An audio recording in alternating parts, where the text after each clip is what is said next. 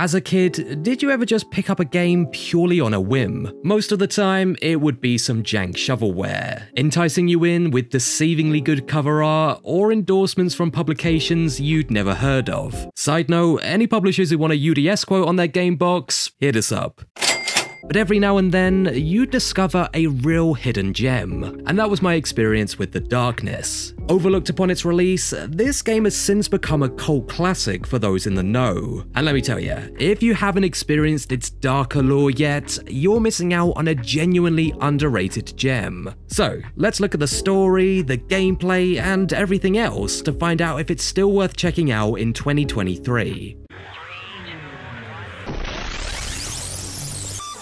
The Darkness is ostensibly a first person shooter, but dig beneath the surface and it's so much more. It's a tale of love, loss, and unspeakable powers. You step into the shoes of Jackie Estacado, a mob hitman who inherits an ancient and malevolent force on his 21st birthday. And this titular darkness isn't just a plot point, it's the crux of the gameplay, influencing every decision and battle. While the supernatural elements might be what entices you in, it's the heart-rending relationship between Jackie and his girlfriend Jenny that will stick with you long after playing. The game deftly blends moments of vulnerability and tenderness amidst its violent backdrop, something not commonly found in FPS titles of the time. The first time the tendrils of the darkness writhed out of Jackie, coiling around enemies and eviscerating them with glee, let me tell ya, my 15 year old edgelord brain got the biggest hit of serotonin since I tried my first Red Bull. Yeah!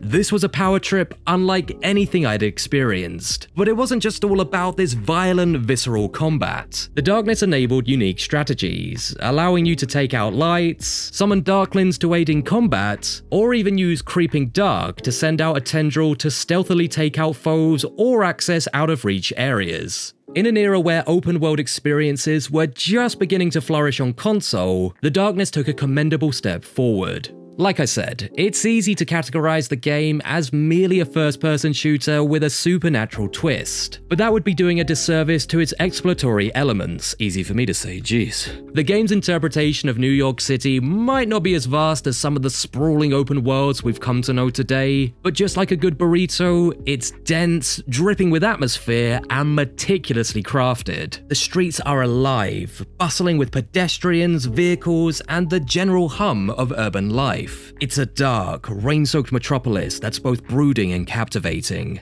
And nestled below these murky streets, one standout feature of this game's open world mechanics is the subway system. Not just a mere backdrop, the subways act as a hub, connecting various parts of the city. You can genuinely board trains, plan your routes, and use them to navigate the concrete jungle above, giving you a real sense of immersion. While the central narrative is totally gripping, The Darkness also offers various side quests and opportunities to interact with its inhabitants. From eavesdropping on overheard conversations that flesh out the lore to helping the distressed citizens of New York City, these interactions lend depth to the game. They make the world feel lived in, providing layers of backstory that might otherwise have been missed. I still remember trying random numbers in the subway payphone and getting this silly giddy rush when I accidentally stumbled across an audio Easter egg.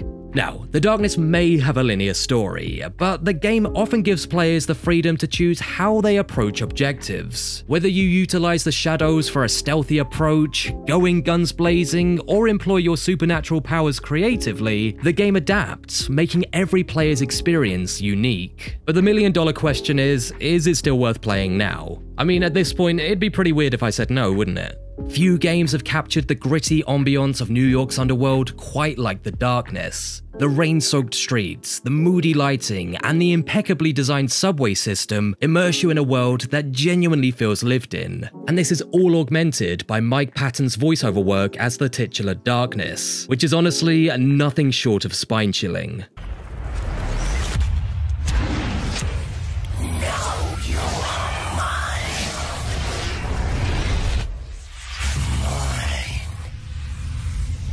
The Faith No More frontman's whispered temptation and guttural screams lend a surreal quality to the game that elevates it above standard shooter affair. Among the sea of military shooters and space epics of its time, The Darkness stands apart with its story-driven approach, and it really is a testament to the art of video game storytelling. In my countless hours with The Darkness, the game consistently surprised me with its mix of poignant narrative beats and brutal combat sequences. It really pushed the boundaries of what was expected in a shooter, creating a game that was as thoughtful as it was thrilling. And it's a rarity in today's gaming scene to stumble upon something as singular and distinctive as The Darkness. It's a blend of horror, drama, and action that deserves its place in the pantheon of gaming classics. So if you're looking to rekindle that sense of discovery, or simply in the mood for a game that offers something different from the norm, give The Darkness a go. It's an experience that remains unparalleled to this day.